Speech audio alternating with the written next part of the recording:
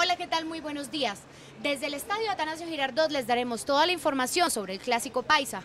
Ambos equipos llegan en un muy buen momento al enfrentamiento, que será a partir de las 7.45 de la noche.